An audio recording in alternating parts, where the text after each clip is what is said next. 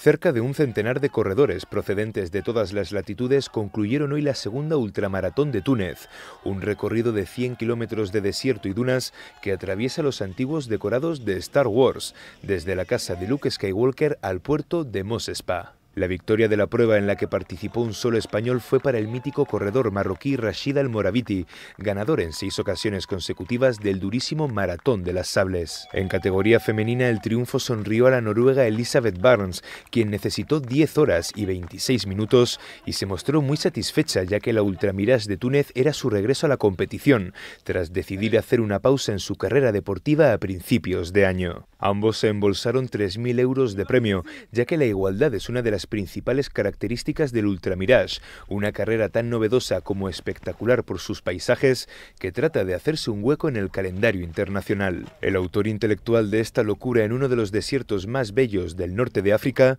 es Amir Ben Gassem, un experto en finanzas que se gana la vida en la City de Londres y que planea ya la tercera edición, cuyos objetivos serán seguir creciendo, promover esta disciplina entre los tunecinos y colocar a su país natal en el mapa de los aficionados a las carreras.